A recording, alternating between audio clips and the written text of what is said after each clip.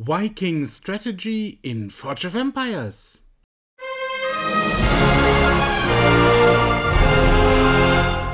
This video wants to demonstrate how to complete the Viking outpost relaxed and without diamonds within the time limit to receive all possible rewards. I mainly use 8 hour productions as I believe that you cannot work with the 4 hour productions long as it would be stress.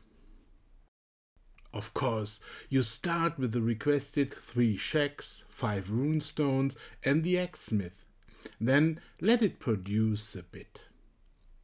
The start can be very different every time. Sometimes you will have more obstacles, sometimes less. This only depends on luck. Important, even with the worst starting situation, you can follow this strategy absolutely relaxed. Do not pay too much attention to the quest line, as it is more distracting than supporting.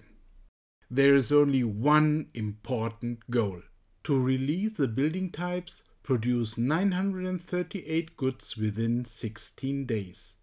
For advanced Viking outposts, even faster.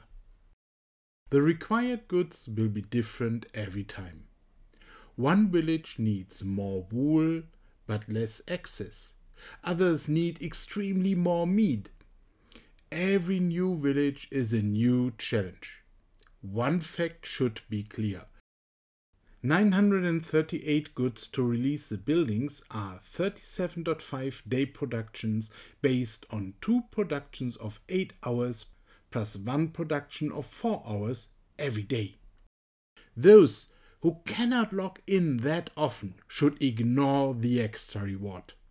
Yggdrasil will be rewarded independent of how long it might take. Releasing the shrine always requires 10 axes. The mead brewery always needs 34 axes. Afterwards, all prices are split randomly on the goods which are already available at that point. The total of all goods is always 938. The highest priority has the purchase of the expansions. It is important to strengthen your productions. 37.5 day productions in 16 days means to have 2.5 active productions. As we start with zero, we have to compensate for the weaker start later. To generate a good stock of copper coins, we mainly need space for buildings. Therefore, different to others, I recommend to buy three expansions with axes in the very beginning and later buy two expansions with each new type of goods.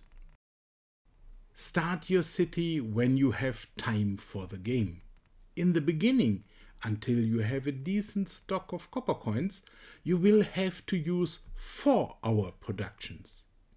Once you have enough copper coins, the game will be much more relaxing.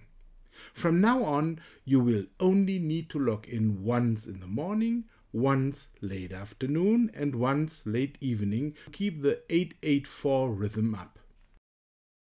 The quests complete themselves without requiring special attention.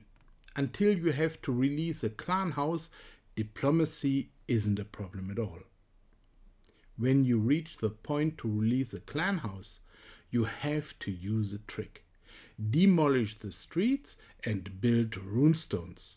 This provides enough diplomacy to release the building.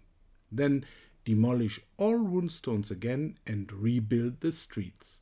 Trying to find a more elegant way to do this always brought a risk to achieve the deadline. In the end, you should be focused on one single goal. Produce all goods needed for all remaining releases of buildings. Then demolish all good production buildings and those which produce copper coins.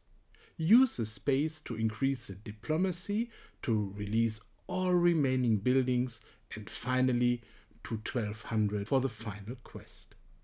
When this final quest is active, it is enough to have these 1200 diplomacy for just one moment.